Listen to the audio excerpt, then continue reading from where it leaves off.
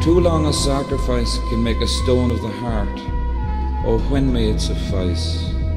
That is heaven's part, our part, to murmur name upon name as a mother names her child when sleep at last has come on limbs that had run wild. What is it but nightfall? No, not night, but death. And was it needless death after all? For England may keep faith for all that is done and said.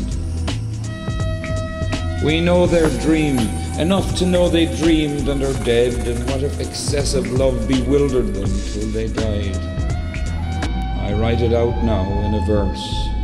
MacDonagh and MacBride and Connolly and Pearse, now and in time to be, wherever green is worn, are changed, changed utterly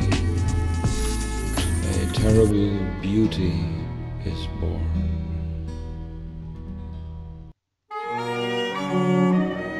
My lords, you are impatient for the sacrifice.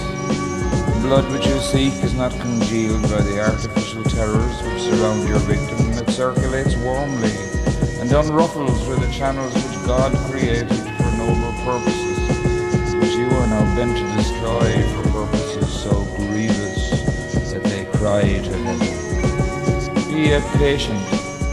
I have but a few more words to say. I'm going to my cold and silent grave. My lamp of life is nearly extinguished. My race is run.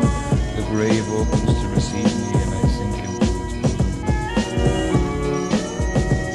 I have but one request to make at my departure from this world. It is the charity of its silence.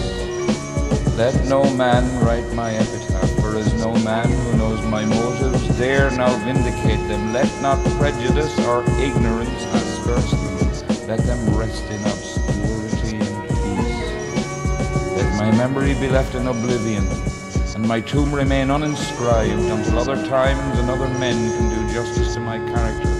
When my country takes her place among the nations of the earth, then and not till then let my epitaph be written.